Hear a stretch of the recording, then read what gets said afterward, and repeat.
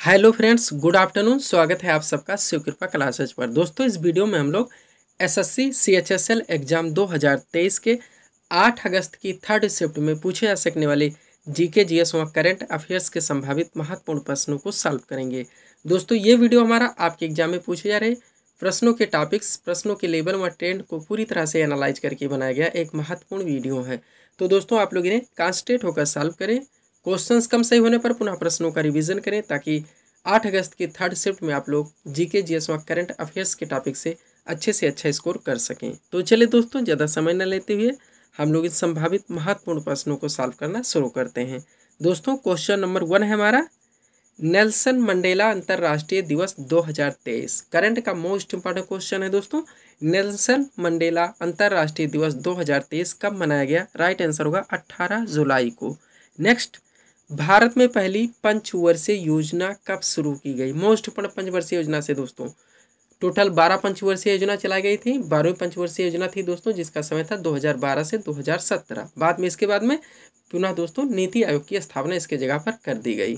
तो भारत में पहली जो पंचवर्षीय योजना शुरू की गई थी, वो एक अप्रैल उन्नीस सौ इक्यावन से शुरू की गई थी, और दोस्तों, योजना आयोग का जो गठन हुआ था, वो पंद्रह मार्च 1950 को हुआ था। योजना आयोग का गठन कब हुआ था? पंद्रह मार्च 1950 को।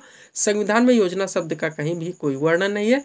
केंद्रीय मंत्रिमंडल के एक प्रस्ताव के द्वारा योजना का निर्माण किया गया था।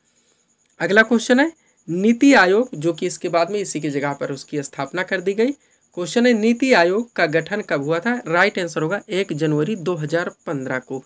नीति का दोस्तों, फुल फॉर्म ध्यान रखेंगे, एन आई टी आई, यानी कि national institute for transforming India राष्ट्रीय भारत परिवर्तन संस्थान, जिसकी स्थापना एक जनवरी 2015 को हुई थी। इसके प्रथम उपाध्यक्ष थे अरविंद पनगड़िया व प्रथम सीईओ सिंधु श्री खुल्लर। अब वर्तमान में बात करें दोस्तों तो वर्तमान में नीति आयोग के उपाध्यक्ष हैं सुमन बेरी, श्री सुमन बेरी व सीईओ हैं वी वी आर सुब्रमण्यम। और जो दोस्तों, वर्तमान में प्रधानमंत्री होते हैं, उन्हें ही अध्यक्ष माना जाता है। केवल उपाध्यक्ष व सीईओ अलग से नियुक्त होते हैं। नेक्स्ट क्वेश्चन है।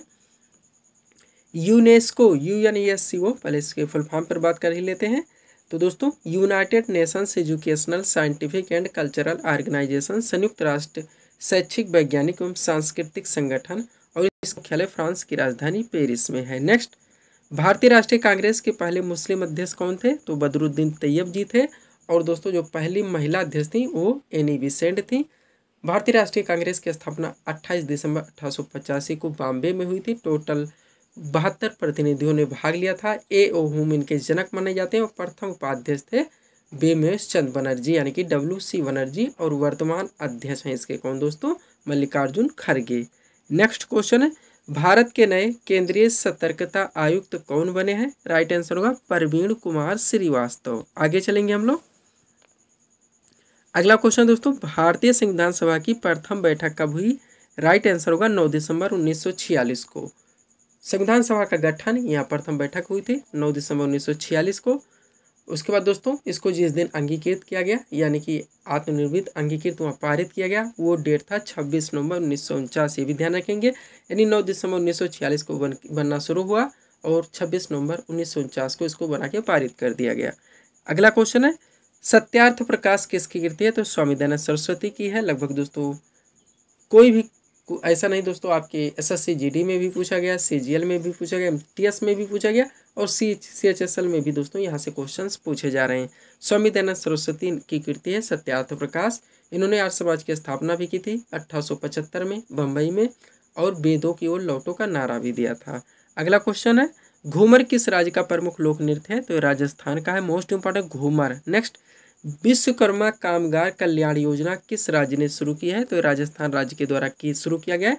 विश्वकर्मा कामगार कल्याण योजना करंट का मोस्ट इंपोर्टेंट क्वेश्चन है। नेक्स्ट फॉरवर्ड ब्लॉक पार्टी की स्थापना पूछी जा रही है तो सुभाष चंद्र बोस के द्वारा की गई थी स्टेटिक जीके का क्वेश्चन है। नेक्स्ट यांत्रिक ऊर्जा को विद्युत ऊर्जा में बदलने वाला यंत्र बताना है तो कौन सा है? डायनेमो है। अगला क्वेश्चन जद्दा लोकनृत्य किस राज्य से संबंधित है? तो जद्दा दोस्तों, यह हिमाचल प्रदेश से संबंधित है। नेक्स्ट सिजदा एवं पोबोस। बार बार पूछा गया क्वेश्चन दोस्तों, की प्रथा किसने प्रारंभ की थी? तो बलबन के द्वारा किया गया था। अगला क्वेश्चन गांधी बिन समझौता कब हुआ था? तो ये पाँच मार्च उन्नीस सौ इकतीस को होता है। डेट वाइज भी दोनों ध्यान रखेंगे। गांधी व आयरविन समझौता। अगला क्वेश्चन है, ऑपरेशन फ्लड का संबंध तो दुग्ध उत्पादन से है। ऑपरेशन फ्लड का संबंध दुग्ध उत्पादन से है। नेक्स्ट क्वेश्चन है दोस्तों गंडक गंगा नदी जोड़ योजना, या नदी जोड़ो योजना किस राज्य में शुरू हुई है? तो बिहार राज्य में शुरू हुई है। नेक्स्ट आगरा शहर की स्थापना किसने की थी? सिकंदर लोधी, आपका राइट आंसर होगा।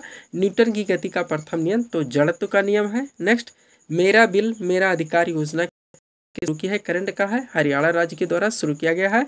नेक्स्ट हाल ही में औपचारिक रूप से मैकमोहन रेखा को किस देश ने मान्यता दी है? तो अमेरिका ने दी है। अब आप लोग दोस्तों कमेंट करके बताएँगे कि मैकमोहन रेखा भारत व किस देश के बीच में स्थित है।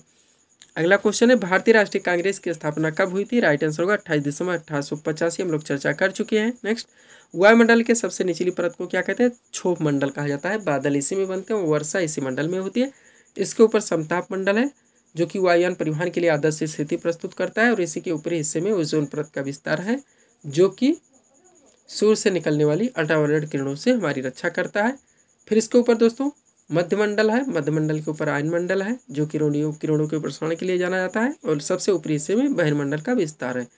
एक क्वेश्चन बनता है दोस्तों कि वायुमंडल में पाई जाने वाली सर्वाधिक मात्रा में कौन सी गैस है? तो नाइट्रोजन फ़र्स्ट है सेकेंड पे ऑक्सीजन थर्ड पे आर्गन और फोर्थ पे है कार्बन डाइऑक्साइड आगे चलेंगे हम लोग। नेक्स्ट क्वेश्चन हमारा मूल अधिकार यानी फंडामेंटल राइट्स है। मोस्ट इंपॉर्टेंट टॉपिक आपका रहा है दोस्तों, ये हमेशा भारतीय संविधान में मूल अधिकारों का वर्णन तो अनुच्छेद बारह से पैंतीस तक है। और यह संविधान का भाग तीन है। प्रारंभ में सात मूल अधिकार थे, लेकिन चौवालीसवें संविधान संशोधन उन्नीस सौ अठहत्तर के द्वारा संपत्ति के अधिकार को मूल अधिकार से हटाकर एक विधिक अधिकार बना दिया गया। तब से यानी कि वर्तमान में टोटल मूल अधिकारों की संख्या छः है। बारह में राज्य की परिभाषा दी गई, चौदह से हमारे राइट शुरू होते। हैं चौदह से अठारह समानता का अधिकार, उन्नीस से बाईस स्वतंत्रता का अधिकार, तेईस चौबीस शोषण के विरुद्ध अधिकार, पच्चीस से अट्ठाईस धार्मिक स्वतंत्रता का अधिकार, उनतीस तीस संस्कृति एवं शिक्षा संबंधी अधिकार, इकतीस खालिया क्योंकि संविधान संपत्ति का अधिकार दोस्तों इसी में था, और बत्तीस है संवैधानिक उपचारों का अधिकार। नेक्स्ट क्वेश्चन, अकबर ने दीन ए इलाही का परिवर्तन किस वर्ष किया था? पंद्रह में किया था। नेक्स्ट, सबसे बड़ा लिखित संविधान भारत का, और भारत विश्व का सबसे बड़ा लोकतांत्रिक देश है। नेक्स्ट भाखड़ा नांगल परियोजना किस नदी पर निर्मित है? तो सतलुज नदी पर है। नेक्स्ट हाल ही में राष्ट्रीय संस्कृति महोत्सव 2023 का आयोजन कहाँ किया गया? तो महाराष्ट्र में किया गया। नेक्स्ट सत्य शोधक समाज की स्थापना तो ज्योतिबा फूले के द्वारा की गई थी। नेक्स्ट क्वेश्चन है, शाहनामा के रचयिता कौन है? तो फिर दोषी हैं। मोस्ट इंपॉर्टेंट दोस्तों, प्राचीन पुस्तकों से भी क्वेश्चंस आपके एग्ज़ाम में बराबर पूछे जा रहे हैं।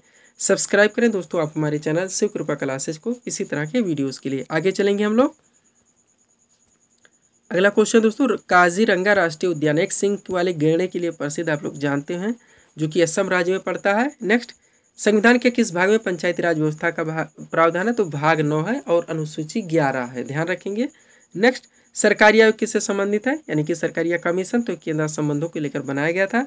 किस विटामिन के कमी से रक्त का थक्का नहीं बनता? तो विटामिन के की कमी से है। कभी कभी अलग से दूसरी तरफ़ घुमा के पूछ लिया था विटामिन के की कमी से कौन सा रोग होता? है तो हीमोफीलिया। अब लिया था कि हीमोफीलिया रोग से ग्रसित व्यक्ति में कौन से विटामिन की कमी थी तो विटामिन के की कमी से होती है। ऐसे क्वेश्चन पूछ लिया गया यहाँ पे दोस्तों, किस विटामिन की कमी से रक्त का थक्का नहीं बनता तो भी विटामिन के यानी कि हम कह सकते हैं विटामिन के हीमोफीलिया रोग से ग्रसित व्यक्ति में विटामिन के की कमी होती है, जिसके कारण रक्त का थक्का नहीं बनता है या नहीं जमता है और रक्त का थक्का न बनने या न जमने के कारण खून का बहना बंद नहीं होता है। नेक्स्ट डीएनए का प्रमुख कार्य है तो आनुवंशिक क्रियाओं का संचालन करना। नेक्स्ट विटामिन सी का रासायनिक नाम है एस्क्वार्बिक अम्ल। ध्यान रखेंगे मोस्ट इंपॉर्टेंट है। नेक्स्ट मौर्य शासक शुक ने कलिंग पर कब आक्रमण किया था? दो सौ इकसठ ईसा पूर्व में किया था। अगला क्वेश्चन है, भारत के नए चीफ ऑफ़ डिफेंस स्टाफ यानी कि सीडीएस कौन बने? अनिल चौहान, आपका राइट आंसर होगा। अगला क्वेश्चन है, पाक जल संधि किन दो देशों को अलग करती है तो भारत एवं श्रीलंका को। आगे चलेंगे हम लोग। अगला क्वेश्चन दोस्तों, आरबीआई की स्थापना बतानी है दोस्तों तो आरबीआई की स्थापना कब हुई थी? एक अप्रैल 1935 को। अब आप लोग दोस्तों कमेंट करके बताएँगे कि इसका राष्ट्रीयकरण कब किया गया था? यानी कि आरबीआई, भारतीय रिज़र्व बैंक का राष्ट्रीयकरण कब हुआ था? नेक्स्ट भूकंपीय तरंगों को किस यंत्र से मापा आता है? सिस्मोग्राफ से मापा जाता है, एक रिक्टर स्केल पैमाना है, यानी कि सिस्मोग्राफ नामक यंत्र से रिक्टर स्केल पैमाने पे भूकंप की तीव्रता की माप की जाती है। आगा खा कब का खेल, आगा खा कब किस खेल से संबंधित है ये बताना तो हॉकी से है। नेक्स्ट शिव कुमार शर्मा का संबंध किस वाद्यन से है? तो संतूर से है। नेक्स्ट राष्ट्रीय विकास परिषद यानी कि एनडीसी नेशनल डेवलपमेंट काउंसिल की स्थापना किस वर्ष हुई थी?